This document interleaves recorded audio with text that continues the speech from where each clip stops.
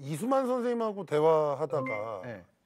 이수만 선생님한테도 이런 얘기 좀 해본 적 있어요? 하죠. 저 나온 거 보셨어요? 어. 선생님도 안 주무시잖아요, 네. 많이 일하시니까. 그래서 어, 어 이제 이제 TV 켜고 보려고 보려고 보려고. 어. 그러면 보고 나서 소감 좀 한번 좀 문자로 선생님 바쁘신 거 아니까 네, 저 기다리고 있, 있겠습니다. 그러면 야너 너는 나도 움직이게 한다. 이렇게, 이렇게 말씀을 해주세요. 아, 진짜. 네. 이수만 선생님도 겁날 것 같아요. 어. 아, 근데, 아, 근데 선생님도 대단하신 것 같아요. 진짜 왜냐면 제가 어떤 컨셉을 말한 적이 있거든요. 뭐 아, 저는 이번 컨셉은 이런 이런 거를 하고 싶습니다. 하니까 선생님이 그러면 전 세계에 있는 이런 이런 컨셉에 이런 거를 알아봐서 뭐 어떻게 해야 될까 하니까 거기서 끝날 줄 알았는 거예요. 제가.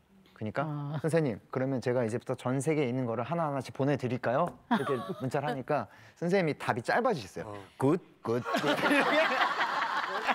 good, good, good 이렇게 이렇게 오시더라고요. 진짜 윤호 윤호는 찐이에요. 진짜? 아 그러니까 이제 외국 공연에서 이제 또 일본 공연도 그렇고 외국 공연에서 우리나라 공연에서 비 오는 날 있잖아요. SMTOWN이라고 하는데 전체 가수들 네, 다 같이. 비도 이렇게 오고 이제 관중 분들도 그러고 약간 분위기가 좀 약간 처져 있는 느낌이 들어서 여러분 비에 집중합시다.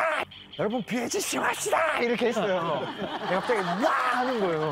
그러니까 후배들이 듣다가 와 비에 지지 말래. 처음 받아본 멘트인데? 비에 지지 맙시다. 그 다른 후배들은 그걸 듣고 굉장히 충격을 받았대요. 아, 아니 저 정도의 어, 이렇게까지 비가 오는데 어떻게 저런 얘기를 할 수 있나? 근데 아, 그러니까. 최시원 씨하고 민호 씨는 그걸 듣고 음, 음, 역시 지지 그래. 역시 윤호 형 지지 않겠습니다. 아니 근데 성격이 진짜 밝고 남자답고 좋네. 음. 응. 어. 매력 있어. 어머니 근데 오늘 아까부터 좀 느낀 건데 네. 굉장히 다른 날하고 좀 뭐 좀 다르시네요. 뭐가요?